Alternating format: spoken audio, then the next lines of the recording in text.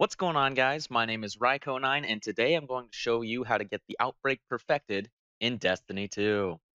The Outbreak Perfected is an awesome pulse rifle that spits out killer bees at enemies after you get a kill with it. And as we all know, the Fallen hate bees. This weapon of mass honey destruction is acquired in a similar, albeit slightly more complicated fashion to the Whisper of the Worm sniper rifle quest in that you have to find some shit, pick up some shit, find a guy, then do a mission in which you kill some shit, parkour some shit, participate in the Maze Runner series, and then kill some more shit. Some would say that this quest line is easier than the Whisper of the Worm, and to that I say, screw you, no it's not. Alright, for those of you who already have the Fallen Transponder, you may skip ahead. For those that don't, first you'll need to go to the rig on Titan and sparrow down the big ass bridge that you spawn facing. Uh, you'll enter a room and then follow a path down to the right. Continue to follow that path, and you'll end up in a similar room with either a wizard or a knight inside of it with a bunch of pointless ads. There will be another room with a locked door that you should be able to unlock already, and if you can't unlock it, you'll have to look up how to unlock the door because I don't remember what I did, and this is exactly how I wrote the script. After unlocking the door, there will be a pickup option by the second console on the right, as Raymond is kindly finding about now, hopefully.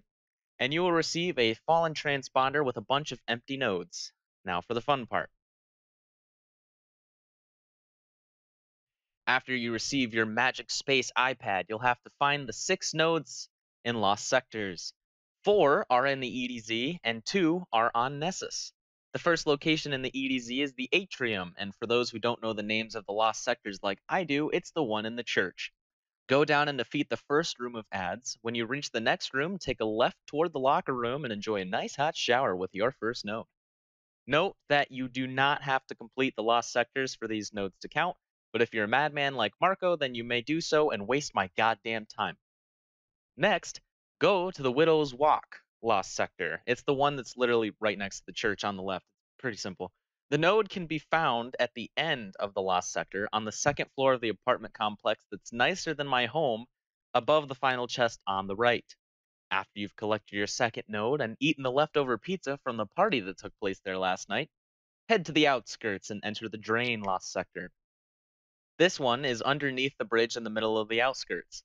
Uh, it's a tad bit trickier to describe where to get this, but as I am myself, I will do it in the most descriptive fashion ever. Once you enter the main chunk of the lost sector, there will be a drop down point that most people would completely ignore as it has no actual fucking meaning in the completion of this bitch. Drop down here and go over to the small platform on your lower left, and your third node will be waiting there for you and might smell slightly sulfuric. Next, head to the Whispered Falls lost sector in the outskirts. Uh, this one I'm I, I'm lazy. You'll just I'll put it up. You'll look at it. Enter it in a nice and smooth way, and once you come to the huge opening, drop all the way down and head to your right to the eerie green room. And your node will be on the ground next to the triple skull spike, which would make for a lovely garden decoration. Next, you're gonna want to drag your ass all the way to Nessus and enter the Rift Lost Sector, which is literally right next to Failsafe.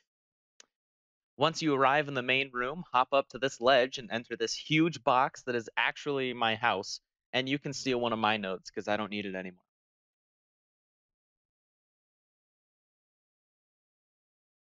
After you steal from me, head to the Glade of Echoes in its corresponding lost sector called I'm Too Lazy to Remember the name of this one. It's in the middle. You'll be fine.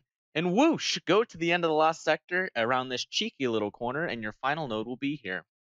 Raymond claims that you can grab it through the wall it's behind, but doing the jump is way more fun.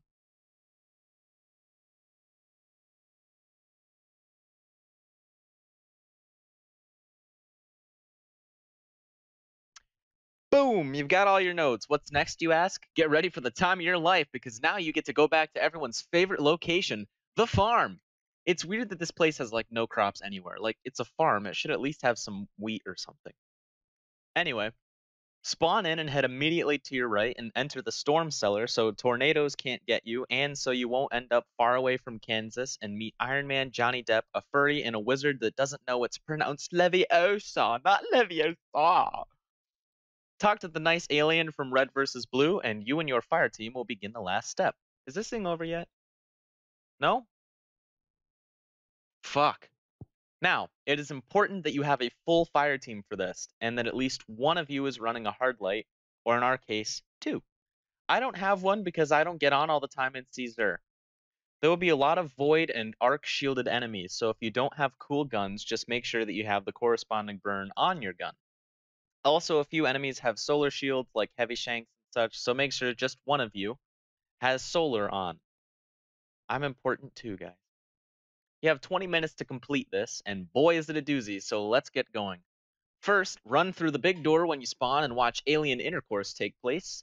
Then head to this little tube on the right, and then the battle begins.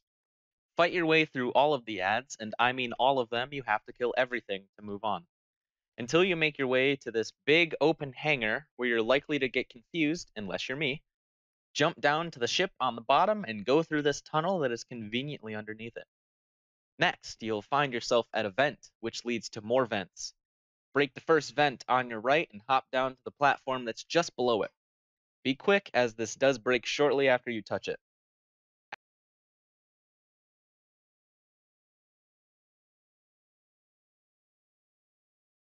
After the vents, you'll end up outside and see a big yellow floaty thing.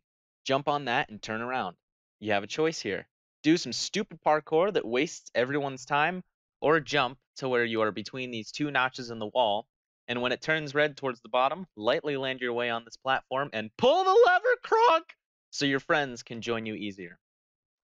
Follow the path above you, and you should end up in a room with yellow ledges leading upward. Make your way up to the ledge that is second from the top, and it will be one of the two vents up there. I don't remember what it is because it's 3 a.m. and I did this a week ago. Plus, I got spun around here anyway, so you'll you'll be fine. Next, you have to do the spinning fans of justice. I feel like I should do that in a Batman voice. Hold on. Next, you'll have to do the spinning fans of justice. That was a little too growly. Anyway, I really shouldn't have to describe how to do this. It's pretty easy.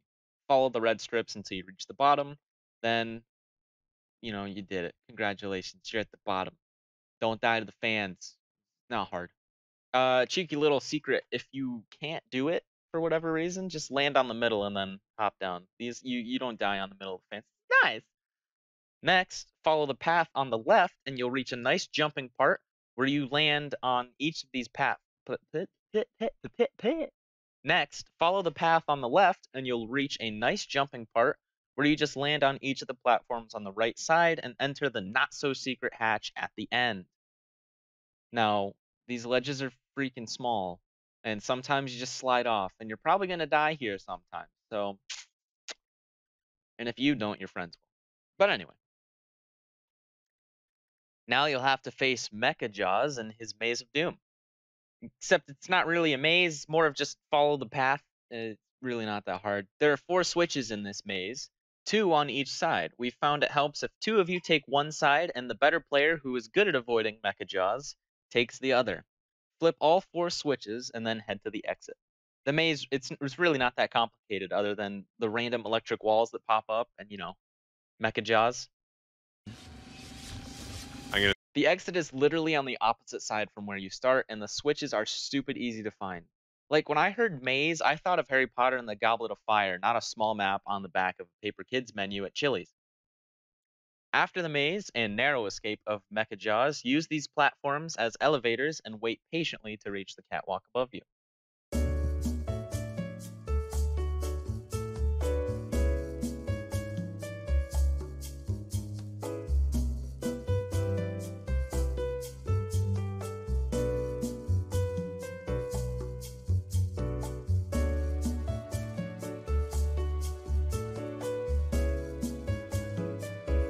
Once you get there, completely refreshed by your calm elevator ride, enter the vent on your right or left, depending on what way you are facing, and make your descent down the slipping slide of doom.